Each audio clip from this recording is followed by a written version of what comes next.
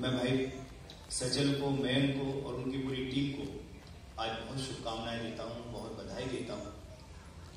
कि पीड़ित मानवता का काम करने का संकल्प लेके उसको लगातार काम कर रहे इसी काम को हाथ में लेना बहुत आसान होता है, लेकिन उस काम को निरंतरता बनाए रखना, उस संकल्प को बनाए रखना, उस संकल्प की दिशा में काम करना और नर्मदा के जैसे निरंतर उसको प्रवाहित करते हुए एक बड़े समुद्र में मिला दिया जैसे माँ नर्मदा का है स्वरूप। मैं उम्मीद करता हूँ ईश्वर से और माँ नर्मदा से प्रार्थना करता हूँ कि वैसे ही जैसा माँ नर्मदा का जल निरंतर प्रवाहित होता है और सीधे समुद्र में जाके बड़े समुद्र में मिलता है, वैसे ही संस्था भी जो है, एक बड़े आसमान को छू।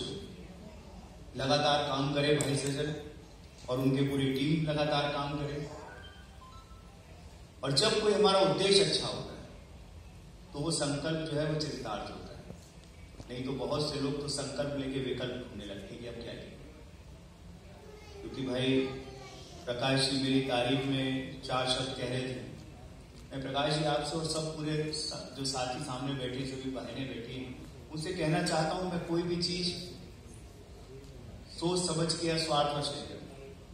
और राजनीति में लोगों जिनको मेरे बारे में बहुत नहीं पता मैंने राजनीतिक जीवन शुरू किया बयासी तिरासी छात्र जीवन से पाँच चुनाव, नगर निगम के पाँच चुनाव और ग्यारहवा चुनाव नगर निगम के बाद विधानसभा का। और ये यात्रा लगातार पैंतीस, छत्तीस, अड़तीस साल की मैंने दिन कभी गिने और वर्ष की बात में सोचता है निरंतर काम करना मेरी प्रवृत्ति है। और उस काम में मेरा जो उद्देश्य है कि किसी भी आए हुए व्यक्ति की मदद हो।